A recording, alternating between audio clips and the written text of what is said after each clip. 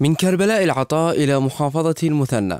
أبدعت ملكات قسم الصيانة والإنشاءات الهندسية في إنشاء ردة لعزل المصابين بجائحة كورونا المستجد وتم افتتاحها من قبل الأمانة العامة للعتبة العباسية المقدسة وعدد كبير من مسؤولي محافظة المثنى والقائمين على خلية الأزمة فيها. جهود العتبة العباسية المقدسة شكرا لكوادر الطيبة المؤمنة لبناء هذه في غضون شهرين.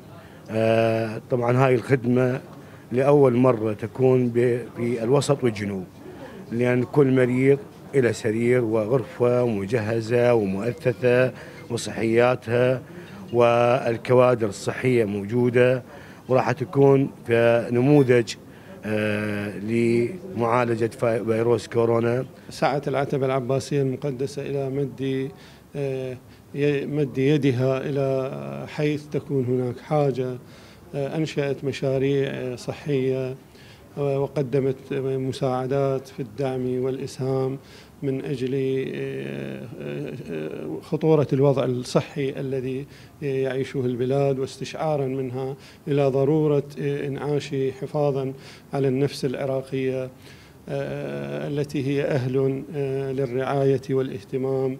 بعد أن رأت العتبة العباسية أن هناك فراغا سعت إلى سده.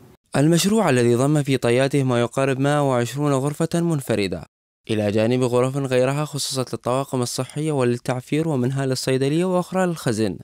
مما يجعل من شأنها تقديم خدمات تليق بالمواطن السماوي. بادرت كوادر قسم الصيانة الهندسية بكافة أصنافها ومهندسيها وفنيها آه، بالبدء بالعمل. آه، استغرق الوقت آه، تقريبا شهرين باعتبار التوقفات اللي حدثت آه، استغلالنا للمكان تهيئة المساحة المطلوبة.